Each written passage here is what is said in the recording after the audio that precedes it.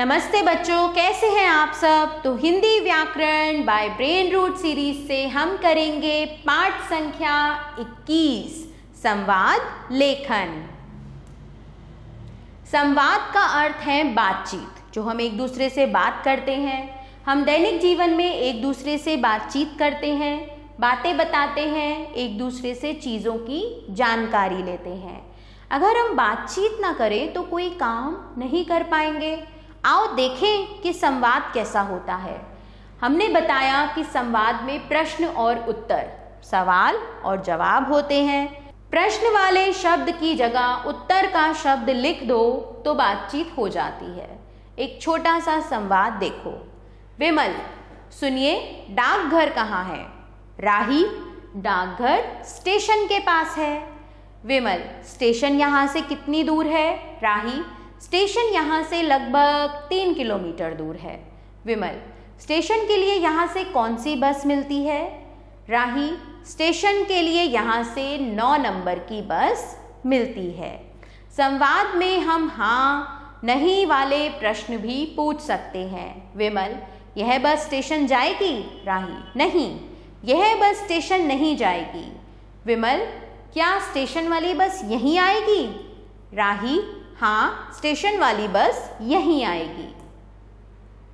चलिए, अब बताइए कि आपने इस संवाद से क्या पढ़ा, क्या सीखा? तुम इसी संवाद को कुछ अलग जानकारी के लिए बदल कर देखो। तुम्हें सेंट्रल बैंक जाना है। वह जीवन अस्पताल के सामने है। वह वहाँ से छः किलोमीटर है। वहाँ बस नंबर 18 से जा सकते हो या ऑटो रिक्शा ले सकते हो।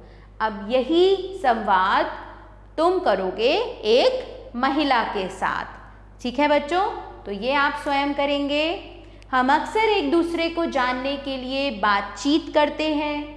मान लो तुम्हारे बराबर वाले घर में एक नया परिवार आया है। तुम उससे दोस्ती कैसे बढ़ाओगे? तुम उससे उसके बारे में बातचीत करोगे? यहाँ हमने तुम्हारे लिए कुछ सवाल लिखे हैं। तुम उनके उत्तर के साथ पूरा संवाद अपनी अभ्यास पुस्तिका में लिखो। तो बच्चों, यहाँ पर कुछ सवाल हैं। आपको इसके उत्तर के साथ पूरा संवाद अपनी अभ्यास पुस्तिका में लिखना है। तुम्हारा नाम क्या है? फिर आप पूछेंगे, तुम्हारी उम्र क्या है? तुम कहाँ रहते थे? तुम पहले कहाँ पढ़ते थे?